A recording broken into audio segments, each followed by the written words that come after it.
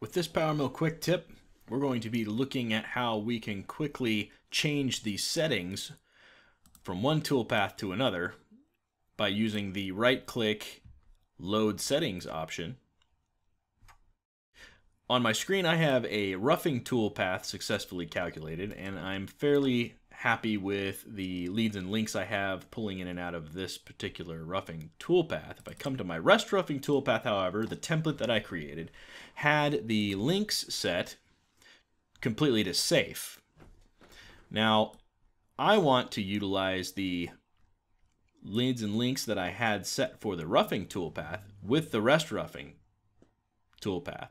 So what I can do is with the toolpath that I want to change active, if I right click on the toolpath that I want to load the settings from and select load settings, it will change whatever settings dialog box I have open within PowerMill. And that's very important is that it will change this dialog box, the attributes within it, to the other toolpath's attributes just by clicking load settings.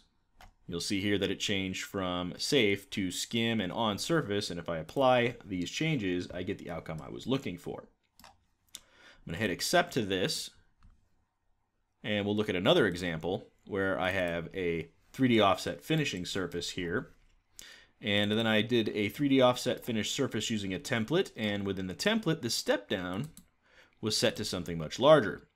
So if I look at my settings here, you'll see if I recycle the toolpath that my tolerance is set to 1 thousandths. I may want that tighter, and I have a step over of 50 thousandths here. So I'm going to use the same settings as this 3D offset toolpath. So again, I am active and I've recycled this settings page.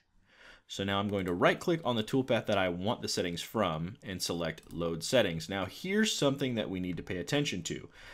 It changes it for the entire settings dialog. That also means that my limits have changed. So what I need to do in this case is simply change my boundary to the boundary I want to use again, and then calculate the toolpath. And I get the results that I was looking for with the step over added from the previous toolpath. I hope you found this quick tip video helpful. Thank you for watching.